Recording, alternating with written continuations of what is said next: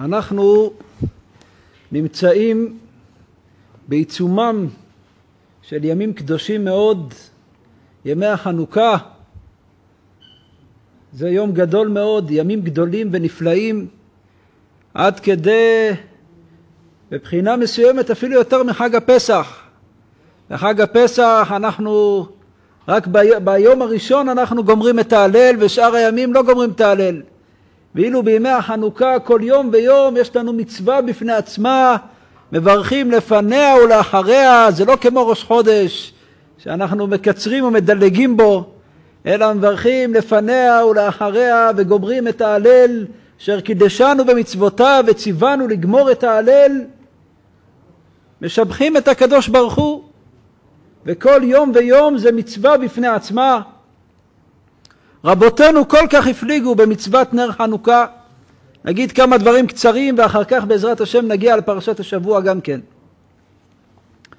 מצוות נר חנוכה כל כך חכמים הפליגו בה עד כדי שיתרה היא משאר המצוות. למשל מצוות תפילין. אדם אין לו ממון, אין לו כסף לקנות תפילין.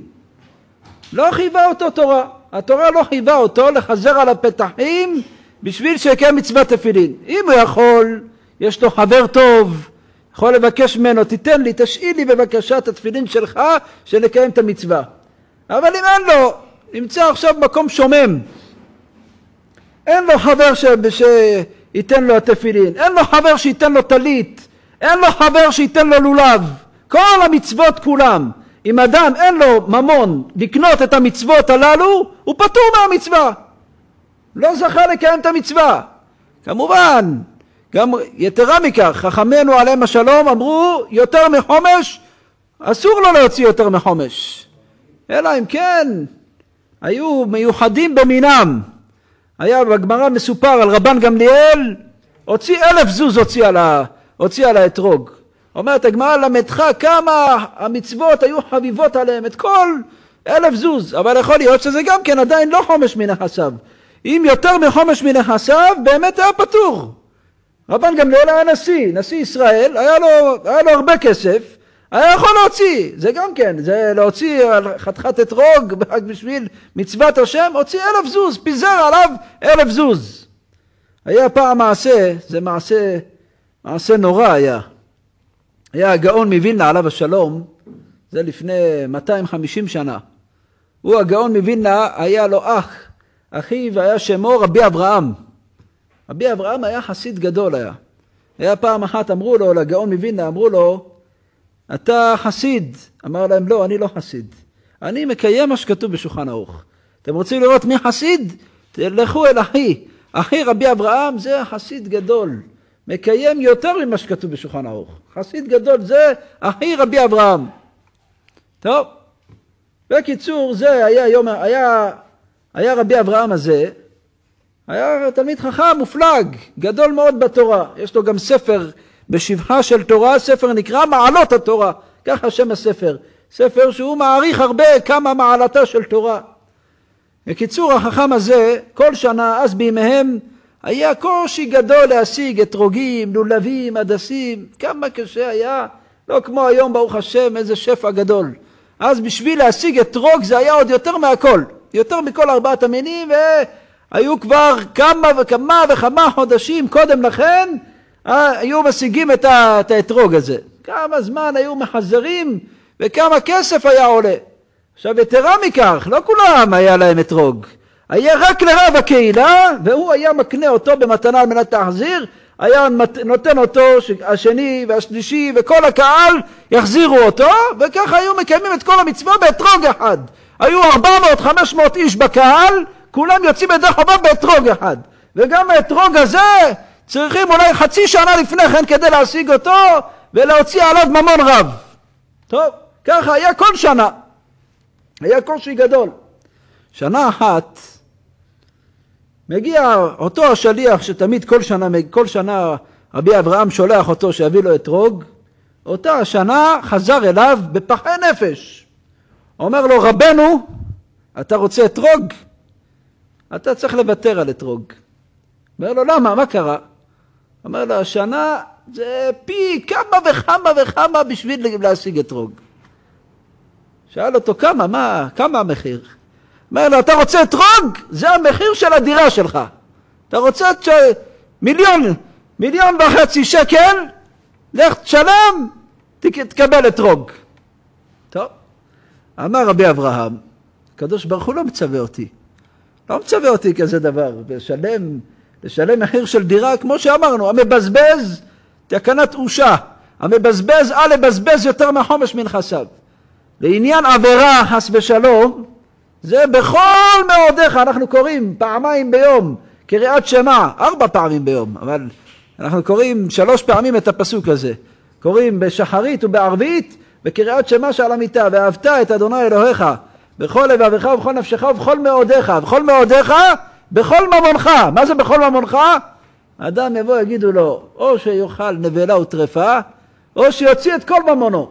צריך להוציא את כל ממונו כדי שלא יעבור על איסור אחד. זה, מכאן למדנו כמה הדבר הזה חמור. עוון איסור לשון הרע. אדם חס ושלום, אדם פותח את פיו, מדבר חס ושלום. הדיבור הזה, כל הבית שלך, כל הרכב, כל... יש לך וילות, את הכל אתה צריך למכור כדי שאתה לא תוציא את המילה הזאת מהפה. אתה יודע כמה איסורים אתה מוציא בשעה שאתה... כמה איסורים אתה עובר חס ושלום שאדם מוציא מפיו מילה חס ושלום נגד חברו לשון הרע, חפץ חיים ספר שלם. יש לו שם הקדמות כמה עשים, כמה ארורים, כמה לווין השם יצילנו. אדם מדבר חס... בדיבור אחד, כמה מילים משפט אחד בקריצת עין אחת. חס ושלום אתה מאבד, מאבד, מאבד את הכל. אדם צריך להוציא את כל ממונו בשביל עבירה אחת יש בגמרא, גמרא במסכת שבת, דף קנ"ה, הגמרא שמה אומרת, אין לך עשיר יותר מהחזיר, ואין לך עני יותר מהכלב. אומר למה? החזיר זה נובר באשפתות. כל מה שתיתן לו יאכל, מה שתיתן לו. זה כולו מטונף. איפה שתיתן לו, ילך פה, ילך שם, יאכל הכל, זה החזיר. אומר אבל הכלב זה כמה שהוא אוכל, אבל הוא לפני כן, הוא לא ילך להשפעה, הוא לא, הוא יותר, יותר ככה אסטניס, יש לו יותר ככה אסתטיקה, מה תיתן לו, מה לא תיתן לו, הוא לא, לא כל דבר, לא ככה, הוא יותר עני. אז הגמרא אומרת, אין לך עשיר כמו החזיר, ואין לך עני כמו הכלב. מה, מה זה מעניין אותנו? העשיר חזיר, החזיר הוא עשיר והכלב הוא עני? מה הגמרא מספרת לנו הדברים הללו? הגאון מווילנה עליו השלום אומר, אומר לא, אומר לך, אתה יודע מה כוונת הגמרא? אין לך מצווה עשירה כמו המצווה של איסור אכילת חזיר. יש כאלה שאפילו את המילה הזאת גם כן לא מוציאים מהפה. דבר אחר, אומרים לך דבר אחר, לא אומרים אפילו את המילה הזאת. כל כך טמא, כל כך משוקץ, כל כך מתועב, כל כך מגועל. תבוא תגיד לבן אדם, חביבי, פה מוכרים בשר דבר אחר. מה? פה מוכרים בשר דבר אחר, תצלנה אוזניו משמוע, לא רוצה להסתכל, לא רוצה להביט. ובצדק, התורה אסרה, אין ספק, זה בצדק. ודאי, התורה אסרה עלינו, זה איסור נורא ואיום. אבל זה מצווה עשירה, שמעטים מעטים שנופלים בה בדבר הזה. כמעט כל, כל אחד שהוא מזרע ישראל, בין אברהם אבינו, בין יצחק אבינו, בין יעקב אבינו עליו השלום, מעטים שהם אשריהם ישראל, שזכו ל, ל, זכו להיזהר בדבר הזה. אומר אבל, העניין הזה של איסור לשון הרע חס ושלום, רבותינו אמרו, הגמרא במסכת פסחים קי"ח, אומרת הגמרא, כל המספר לשון הרע ראוי להשליכו לכלבים, שנאמר לא תישא השם עכשיו וסמיך ל... ובשר בשדה טרפה, לכלב תשליכון אותו. לא תישא השם עכשיו זה לשון הרע, אתה מדבר לשון הרע, ראוי להשליכו לכלבים. אומר מה? איסור כל כך נורא ואיום, איסור אכילת חזיר, עם כל הכבוד הגדול לאיסור הזה, אבל התורה לא אסרה מלקות. אדם לוקה דווקא אם אכל כזית, אכל 27 גרם, אבל אם אכל 10 גרם, עבר איסור. עבר איסור תורה, אבל עדיין לא לוקח עליו. לא, לא, לא, עדיין לא לוקח עליו. ואילו על איסור לשון הרע בדיבור אחד, כמה וכמה איסורים, אכילת חזיר פי עשרים. וזה חס ושלום, אנשים, זה מצווה ענייה. זה מה שאומר הגאון מווילנה. אכילת חזיר, החזיר, תראה כמה הוא עשיר. הגמרא לא התכוונה להגיד לך החזיר כמה הוא עשיר והכלב כמה הוא עני. מה זה מעניין אותנו? זה, זה עשיר, זה עני. הגמרא באה מתכוונת לומר לך, תדע, העוון הזה של אכילת חזיר, כמה הוא עשיר, כמה אנשים כל כך נזהרים בו. למרות שאפילו אם אכל כזית, הוא עובר בסך הכל איסור אחד. לא חלילה לזלזל בעוון הזה, אבל זה בסך הכל איסור אחד. ואילו לשון הרע, אתה בדיבור אחד, שזה, שמשליכו לכלבים, זה כמה זה עני. הסמיכו את זה גם על הפסוק בסוף פרשת מטות. ויקרא לה נובח בשמו. לה ראשי תיבות, לשון הרע. מי שהוא חס ושלום ויקרא לשון הרע זה נובח. זה צריך להשליך אותו לכלב. ברוך אתה אדוני, אלוהינו מלך העולם שהכל נהיה בדברו. היה פעם אחת, זה מספר הגאון חפץ חיים, בספרו שם עולם. הוא מספר על הגאון מווילנה. אנחנו עוד נחזור לענייני חנוכה, רק כיוון שנכנסנו לעניין הזה, אני אספר עליו את המעשה, מעשה שתסמרנה שערות אנוש. הוא מספר שהיה פעם הגאון רבי אליהו מווילנה רכב בעגלה. היה בעגלה, הלך למקומו, היה צריך לנסוע מעיר לעיר. והנה העגלון, בכוונה או שלא בכוונה, היה עגלון גוי. העגלון הזה משך את המושכות לכיוון שדה של מישהו אחר. והנה הסוסים השחיתו לו את השדה. קלט את זה העגלון שככה עשה, מיד ברח, ברח העגלון.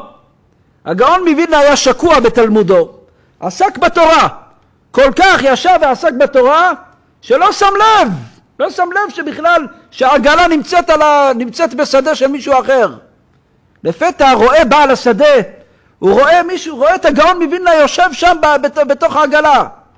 בא מכה אותו מכות נמרצות, אתה לא מתבייש, אתה לא נורמלי, תראה מה עשית לי לשדה שלי, איך אתה לא מתבייש, איך אתה שותק, איך אתה ככה עושה? הגאון, אנחנו במקומו מה היינו עושים? זה לא אני, זה לא אני, זה הוא! מה, מה אתה רוצה ממני? מה אתה רודף אחריי? זה לא אני. הגאון מווילנה, היה לו את זה על הפה. היה לו בפה, זה לא אני, זה הוא. מיד הוא עצר את עצמו. מילה, לא דיבר מילה. המשיך להכות אותו, ממשיך להכות הגאון מווילנה, והוא שותק. אמר אחר כך הגאון, ככה כותב החפץ חיים בספרו שם עולם, אמר אחר כך, התבטא הגאון, שאם אני הייתי אומר זה לא אני אלא הוא, לא היה עוזר לי כל התורה שלי וכל הצדקות שלי וכל מה שאני אעשה פה בעולם זה לא היה עוזר לי כלום לכפר את העוון הנורא הזה שאמרתי זה לא אני אלא הוא זה לא אני אומר, זה, ככה חפץ חיים כותב בספרו שם עולם מעשה מהכהן הגדול, רבנו החפץ חיים, שככה כותב מעשה על הגאון מווילנה. תסמרנה שערות אנוש. על לשון הרע אחד שהוא אומר זה לא אני, בצדק, מה אתה מכה אותי? העגלון הוא אשם? אומר כל התורה והמצוות שלי לא היו מכפרים על כזה עוון. מכאן נמצאנו למדים. נשוב לעניין שלנו. לעניין עבירות אדם צריך להוציא את כל ממונו, כל הממון שלו צריך להוציא. אבל במצוות חכמים אומרים לך אל תבזבז יותר מחומש. אנחנו חזרנו לסיפור. סיפור עם רבי אברהם, אחיו של הגאון מווילנה. בא אליו השליח, אומר לו, או, או אתה משלם, על, או אתה מוכר את הדירה שלך, או אתרוג או דירה. מה אתה מחליט? אמר רבי אברהם, התורה לא חייבה אותי יותר מזה. התורה אומרת לי, אתה צריך לשלם חומש, יותר מחומש, אני לא צריך לשלם. אבל אמר, טוב, אני אתייעץ עם, עם, אשתי הרבנית. הוא שואל את הרבנית, מה את אומרת? אומרת אומר לה, כבוד הרבנית, אנחנו השנה לא נזכה לקיים מצוות אתרוג. מה? לא נזכה, לא תזכה לקיים מצוות אתרוג? מה קרה? אומר לה, אלו הנתונים.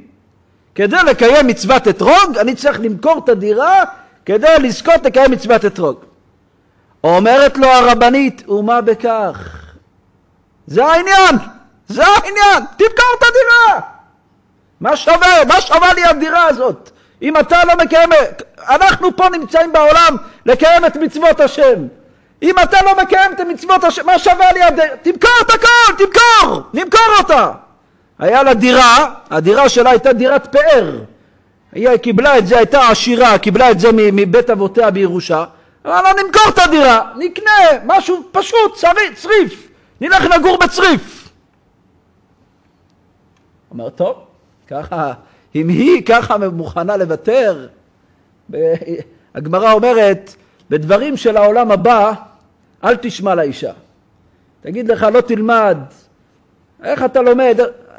כמובן, אדם צריך לדעת לנתב את דרכיו, לא יגיד, אני עכשיו כל הזמן, אני ספון בבית המדרש ואני לא אעזור ולא לא יעזור בבית, ודאי שהוא צריך, צריך לדעת לעזור לאשתו וצריך זה, אבל בדברים של ענייני העולם, העולם הבא, ענייני העולם הבא זה האיש. היוד, יש יודקה, היוד זה העולם הבא, האה זה העולם הזה, העולם הזה זה האישה, האישה, יש יוד באיש והא באישה, היוד שזה באיש, שזה העולם הבא, זה לא ישמע לאשתו, אבל בענייני העולם, העולם השפל הזה, איתתה גוצה, אומרת הגמרא, גחון ולחישדה. ככה כתוב, הגמרא בבא מציאה נ"ט. אם יש לך אישה נמוכה והיא מדברת איתך, תלחש לה, מה היא רוצה? מה את רוצה? תשמע מה היא רוצה ותשמע לה. למה? כי הכל זה דברים של האישה, אתה צריך לשמוע, לשמוע על האישה. ויתרה מכך, כל הברכה כולה לא מצויה בביתו של אדם, אלא בעבור אשתו. שנאמר, ולאברהם היטיב בעבורה. הכל זה בזכות האישה. אז הוא אומר, הנה האישה פה מוכלת, אומרת, אמרה לו, תמכור את כל הבית, תקנה איזה צריף, נקנה צריף ונשב שם. טוב. אמר, אם ככה אשתי אומרת לי, גמר עומר, אמר לו למשלח, תגיד לו שאנחנו נפרע את הכל, אנחנו נשלם בעזרת השם, אני אמכור את הדירה ואני, אקנה, נשב בצריף פשוט, נגור בצריף, העיקר שנזכה לקיים את מצוות השם, הנה ככה האישה, האישה הסכימה לזה, אז בסדר. בקיצור, זה ככה עשה. ככה עשה רבי אברהם, הלך מכר את הדירה, פרע את הכל, פרע את, את כל, ה, כל הכסף של האתרוג, והלכו, קנו איזה צריף פשוט, ככה גרו בו, והכל בשביל מצוות אתרוג. תראה מה זה, איזה נשים צדקניות, איזה מסירות נפש, שהיא תעשה את הכל כדי שבעלה יזכה, אפילו היא לא, אפילו היא לא, מקו, לא מצווה במצוות אתרוג. היא, אם היא לוקחת את האתרוג, היא גם יש את המצווה, אבל כאינו מצווה ועושה. ואף על פי כן מוכרת את הכל בשביל שבעלה יזכה לקיים את מצוות השם. זה פלא פלאות. בקיצור, בזה לא, לא הסתיים המעשה. והיה אחרי כמה שנים, רבי אברהם ואשתו, רעייתו, גרים בצריף הזה, גרים שם. והנה, הוא לא היה גר ביחד עם אחיו. אחיו, הגאון מווילנה, הנה שלח לו מברק, שולח לו טלגרמה, שולח לו לכבוד ידידי, אחי, אהוב נפשי, אני רוצה שתבוא תלמד בחברתי, אני רוצה ללמוד איתך, ללמוד איתך בחברותא, ואני אסדר לך גם כן משרת הרבנות כאן, פה בעירנו, נסדר לך שיהיה לך גם כן משרת רבנות ומשכורת טובה, פרנסה טובה, העיקר תבוא ותגור בחברתי. טוב, זה רבי אברהם קיבל את המכתב הזה, אמר, אני דבר ראשון, לפני הכל, אני צריך לשאול את האישה. אם האישה מוכנה, נעבור, למה לא? זה פה אחרי הכל זה צריף, ואין לי פה רבנות, אין לי פה פרנסה, אין לי פה זה... נלך לשמה, ירווח לי יותר, בפרט שגם כן אני אזכה להתלמד ולהתחכם ולשבת אחים גם יחד, לשבת ללמוד ביחד עם הגאון מווילנה, נלמד איתו ביחד. טוב, זה שאל את אשתו. אומרת לו הרבנית, אני בשום פנים ואופן לא יעזוב פה את הצריף הזה. לא יעזוב פה את המקום הזה. בעד כל הון שבעולם, אני לא יעזוב את הצריף הזה. עד כל הון שבעולם, ויש לי עכשיו משכורת מסודרת, רבנות, הוא מציע לי, אני אלמד תורה שם. אומרת לו, זה לא יעזור לך כלום, בעד כל הון שבעולם, אני לא יעזוב פה את המקום. שואל אותה, מה קרה? אומרת לו, תדע לך, תדע לך בעלי, אומרת לו הרבנית, אני אין לי הנאה בעולם, אין לי הנאה בעולם, כמו אותו רגע, כמו אותה שעה שאני עוברת ליד הבית המפואר שהיה לנו, ואני יודעת שאת הכל מכרתי לכבוד השם יתברך, את הכל מכרתי בשביל מצוות אתרוג, אין לי הנאה, ועל ההנאה הזאת בחיים אני לא יכולה לוותר. על הנאה כזאת בחיים אני לא אוותר. תראה איזה מסירות נפש של אישה. למען מצוות, רק בסך הכל מצווה אחת, שהיה שנה אחת מצוות אתרוג, בשביל זה את הכל היא מוכרת, את הכל היא לא מוכנה לוותר. אומרת, אין לי הנאה בעולם, שאני יודעת שמכרנו את הכל, הכל בשביל לעשות את רצון השם יתברך. אבל כמובן שזה חסידות גדולה. כמו שאמרנו, לא מצאנו בשום מצווה בעולם, לא מצוות תפילין ולא מצוות לולה ולא כל המצוות כולם. אדם אין לו ממון, התורה לא מחייבת אותו ללכת ולרכוש את המצווה.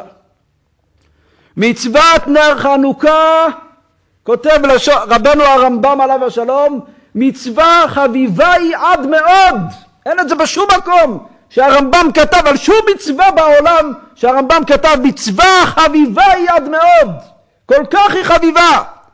עכשיו זה גם לא סתם איזשהו, לא סתם איזשהו ככה פתגם יפה, זה גם דבר שהוא נוגע להלכה עוד מעט גם כן נראה.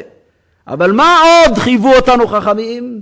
אפילו אני צריך לחזר על הפתחים, אין לו ממון, צריך לחזר על הפתחים כדי שיהיה לו נר שידלק חצי שעה בכל לילה ולילה. תראה כמה המצווה כל כך חביבה, יותר ממצוות תפילין, מצווה דאורייתא, מצוות לולב, דאורייתא, סוכה, דאורייתא, הכל לא חייבו אותך, אין לך כסף אל תקנה, אין, אתה לא חייב, אתה יכול, תעשה השתדלות, אבל התורה לא מצווה אותך. פה המצווה הזאת, חכמים באו וחייבו אותך, אתה צריך ללכת ולחזר על הפתחים כדי להדליק כל נר איש וביתו לפחות חצי שעה, לא צריך עכשיו שמונה נרות או שבע נרות, זה כבר מהדרין, מהדרין מן המהדרין, לפחות שידלק לך חצי שעה. עיקר המצווה זה חצי שעה, אבל על זה אדם חייב לעשות את הכל כדי שיהיה לו חצי שעה.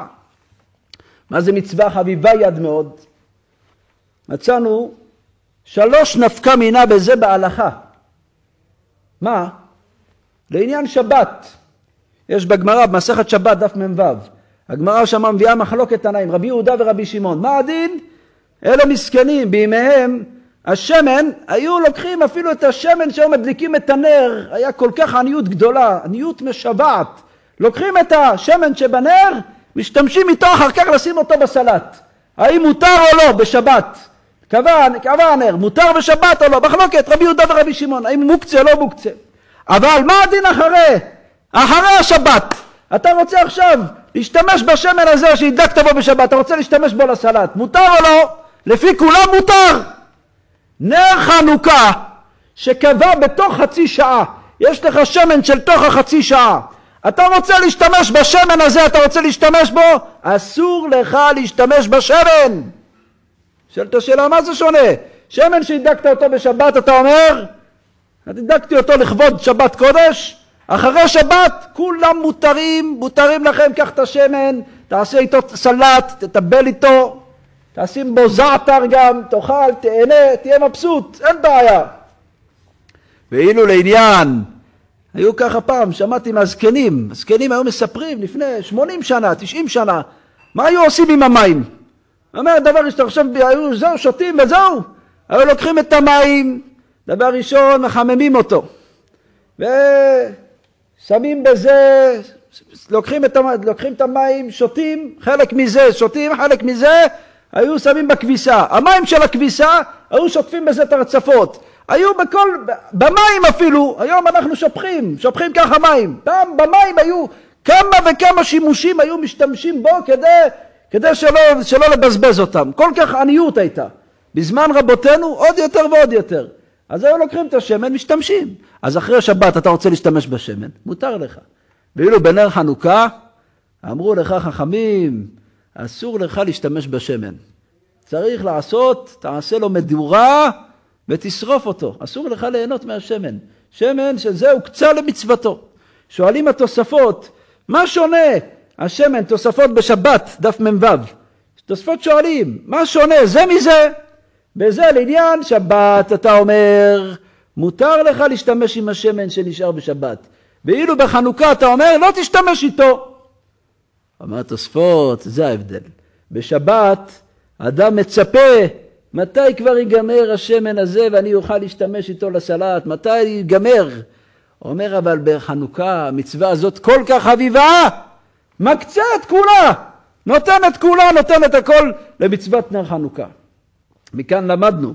למה? כיוון שהיא חביבה. מצווה שהיא חביבה, כיוון שחביבות הנס מקדיש את הכל, נותן את הכל. עוד למדנו במסכת סוכה דף מ"ו ונפסק להלכה בשולחן ערוך סימן תרע"ה נפסק שאדם שנמצא במדבר אין אף אחד שמדליק עליו בבית. אין לו בית אחד שאין לו בית או שאין מי שידליק עליו בבית אין מי שידליק עליו. הוא נמצא עכשיו במדבר. אם יש מישהו שידליק עליו אז אותו אחד שהדליק עליו הוציא אותו ידי חובה.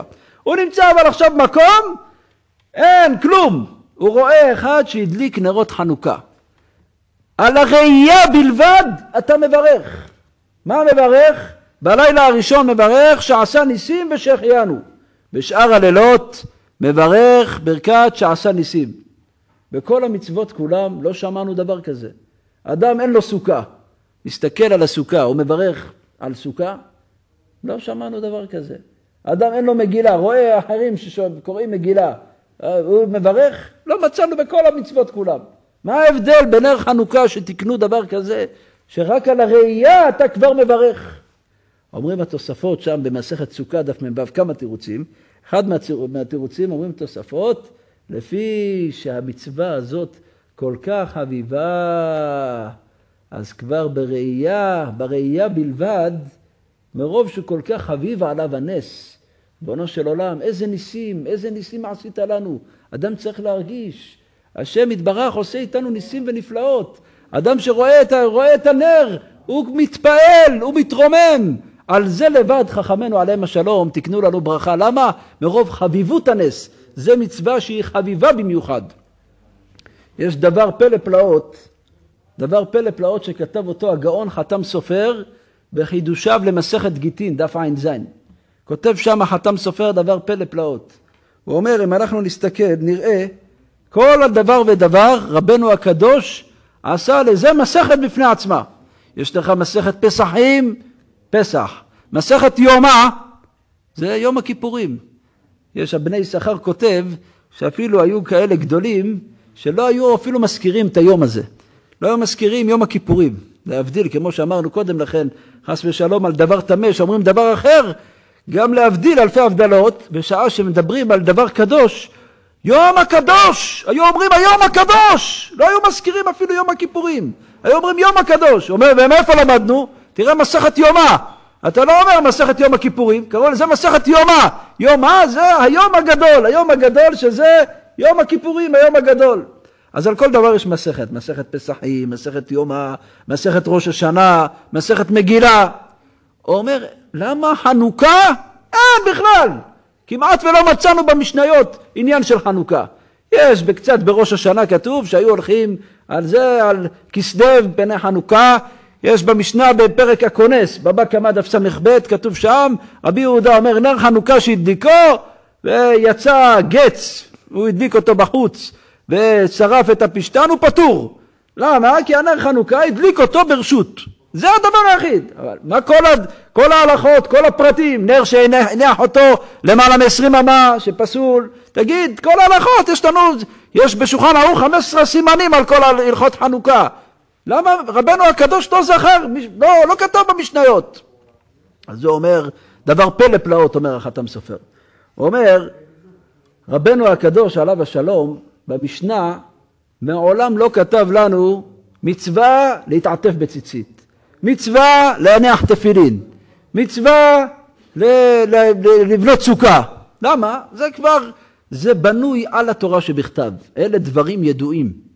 ככה כותב הרמב"ם בפירוש המשניות, רש פרק רביעי במסכת מנחות. התכלת אינו מעכב את הלבן, אומר הרמב"ם, רבנו הקדוש מוסיף על מה שכבר ידוע לך מהתורה שבכתב. דברים שכבר ידועים לך, הוא מוסיף עליהם דינים.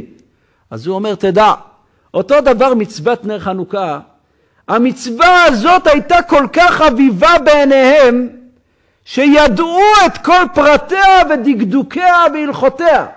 אומר, ולכן לא צריך לכתוב כלום. רבנו הקדוש לא צריך ללמד דעת את העם, כיוון שמרוב חביבות הנס הם ידעו את כל הפרטים, פרטיה ודקדוקיה, והכל ידעו. אז מכאן למדנו כמה המצווה הזאת מצווה חביבה ביותר. לכן בשעה שאנחנו זוכים לקיים כל יום ויום מחדש, צריך לדעת שאנחנו נמצאים בימים גדולים וקדושים מאוד, ואנחנו זוכים לקיים את מצוות השם, מצווה חביבה יד מאוד. מבחינה מסוימת, כמו שאמרנו, זה אפילו יותר ממצוות מהתורה. מצוות מהתורה, חכמים לא חייבו אותנו, אם אדם שאין לו ממון לא חייב. ואילו מצוות נר חנוכה חייב לחזר על הפתחים בשביל הדבר הזה. האמת היא, בפרשת השבוע, על פי רוב יוצא חנוכה, יוצא פרשת השבוע, פרשת מקץ תמיד יוצא. הרמז הפשוט, מה שייך חנוכה לפרשת מקץ, הדבר הפשוט, החלום של פרעה, שהוא הוא חלם שבע פרות רעות, ותאכלנה הפרות רעות המראה ודקות הבשר, את שבע הפרות יפות המראה והבריות. אותו דבר גם שבע שיבולים, ותבלענה השיבולים הדקות, את שבע השיבולים הבריאות והמלאות. אותו דבר גם כן עניין חנוכה. אלה החלשים ניצחו את הגיבורים, הרעות המראה מנצחים את ה... ניצחו את השמנים. אותו דבר המעטים הם, הם את, ה, את הרבים, וכן על זה הדרך. זה דבר אחד. אבל אם נתבונן, יש דבר מאוד מעניין. בכל סוף פרשה, כתוב שם בסוף הפרשה, כתוב את ה, כמה פסוקים יש בסוף פרשה. תסתכל, בכל סוף פרשה יש אחד שכתב כמה, כמה פסוקים יש בפרשה. אבל בפרשה הזאת, פרשת מקץ, מלבד כמה פסוקים, הנה פה הם השמיטו את זה, אבל בכל, בכל החומשים כתוב לא רק כמה פסוקים, אלא כתוב כמה תיבות יש בפרשה הזאת. כמה תיבות, כמה מילים יש בפרשה הזאת? 2025. מה העניין פה 2025 תיבות? מה העניין בזה?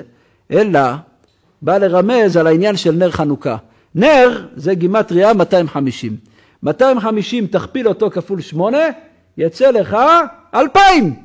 אז זה 2,000 תיבות, ועוד 25, 25 זה כמניין 25 בכסלו, בכ"ה בכסלו. אז לכן זה גם כן, לכן פה רמז גם את המניין של התיבות, לרמז לנו את העניין של נר חנוכה. הזמן קצר, רציתי עוד להאריך בעניין הפרשה, אבל בעזרת השם יתברך עוד חזון למועד, שהקדוש ברוך הוא יזכנו במהרה, שנזכה כולנו להדליק את נרות המערכה, את הנרות בבית המקדש, ושם נעלה ונראה ונשתחווה לפניו יתברך במהרה בימינו, אמן כן יהי רצון.